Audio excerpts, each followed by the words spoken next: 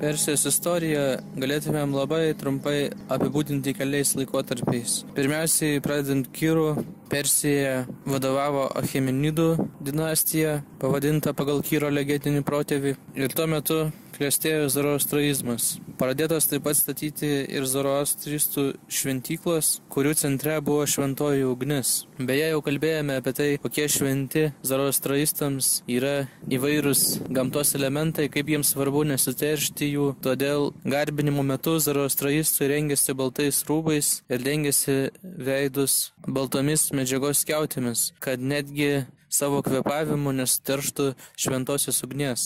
Dėl ugnies svarbos kulte zoroastraistai kartais ir vadinami ugnies garbintojų religija.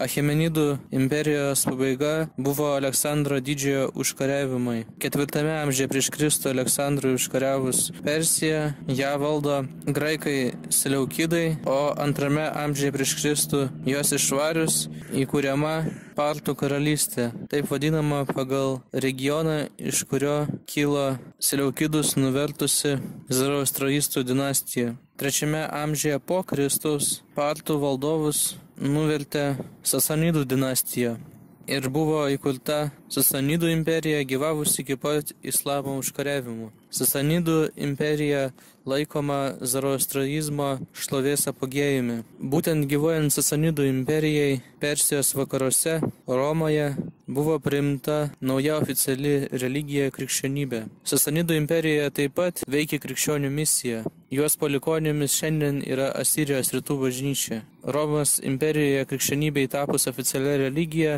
Sasanidų imperijos krikščionėms tapo labai sudėtinga gyventi, nes jie buvo traktuojami kaip Romos imperijos agentai, proteguojantis svetimos valstybės interesus.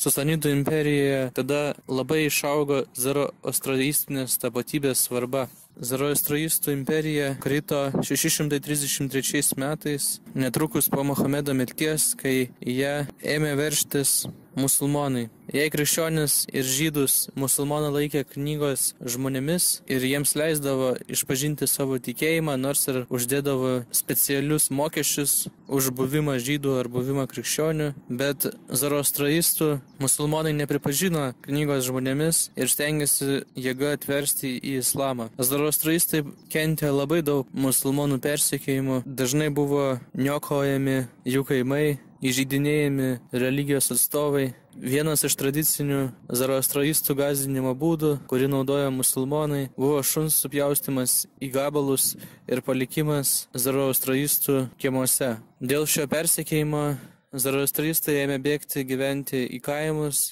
dykumas provincijas, taip pat traukėsi į Indiją. Šiandien Zaraustristų bendruomenės Irane yra labai negausios. Paskutiniu metu jos kentėjo ir dėl islamo valstybės antpolių, o daugiausiai jų išliko Indijoje, kur jie vadinami parsais. Populiarioje kultūroje mes žinome vieną Zaraustraistą, Freddy Mercury, kurio laidojimo apygos vykusios pagal zoroastraistinio ritualo taisyklės buvo rodomas viso pasaulio televizijose.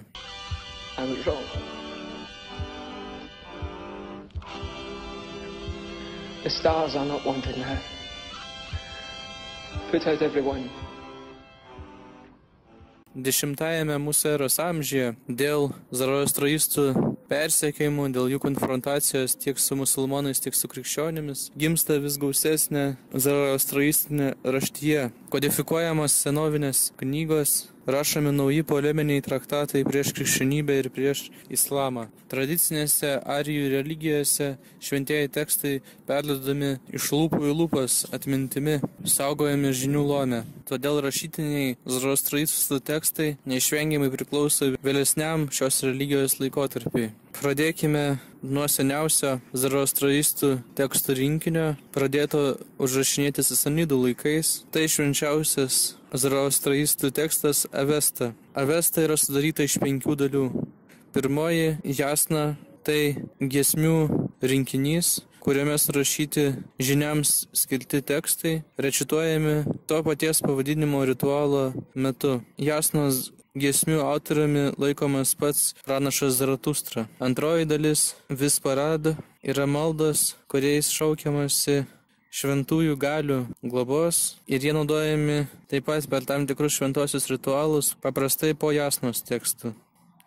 Trečiasis tekstas Vendidad yra atgailos apsišvarinimo, nuskaistinimo ritualų rinkinys. Ketvirtasis tekstas Jaštos yra ritualiniai himnai, kuriais kreipiamasi ne tik į Ahūrą Mazdą, bet ir į Saulę, Menulį, Lietų, vandenis, žemę, augalus ir taip toliau. Į dievybės. Penktasis tekstas Horde Avesta arba Mažoji Avesta - tai trumpų religinių tekstų rinkinukas, maldinėlis pasauliečiams.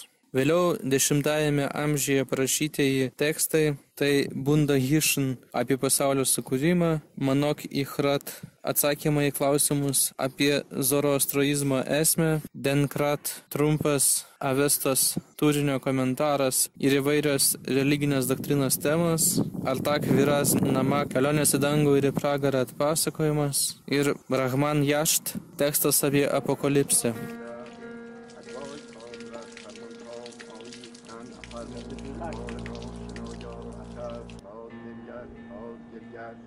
Bald yaşın adı çıkıyorsun, bald yaşoy, bald yaşoy yerger.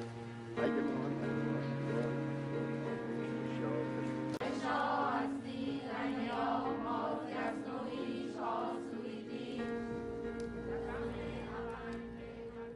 Toks būtų trumpas pasakojimas apie zoroastraizmo religiją, padariusią nemažą įtaką ir judaizmui, ir krikščionybei, ir islamui. Iki kito susitikimo penktadienį.